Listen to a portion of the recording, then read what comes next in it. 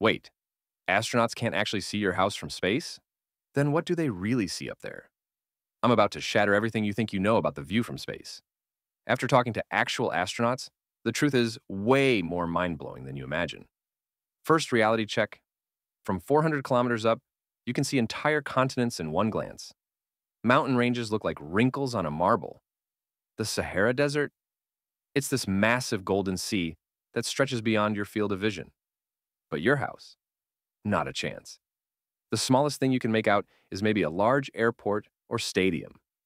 Sorry, flat earthers. It's definitely round from up here. But here's what NASA photos don't capture. The colors are absolutely insane. The oceans aren't just blue, they're this electric, almost neon blue that doesn't exist on Earth's surface. And then there are the auroras. Imagine the northern lights, but you're above them. Watching this green fire dance across the entire polar region, it never stops. But the real magic happens when Earth rotates into darkness. Cities transform into these intricate spider webs of light. Lightning storms look like camera flashes going off in slow motion across entire continents, and space itself? It's not black. It's this deep velvet void, packed with more stars than you've ever seen. No atmosphere means no light pollution.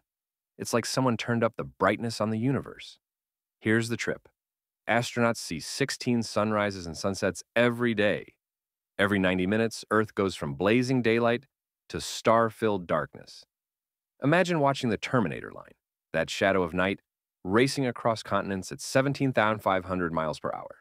Almost every astronaut experiences what's called the overview effect, a complete shift in perspective where Earth's borders disappear, and you realize we're all just floating on this tiny, fragile blue dot in infinite space. But here's what's really haunting. Astronauts watch Earth change in real time. They see hurricanes forming, glaciers shrinking, forests disappearing. From space, climate change isn't a debate. It's visible, happening right before their eyes. They witness volcanic eruptions shooting ash into the atmosphere, massive wildfires painting entire regions in smoke. Earth isn't static.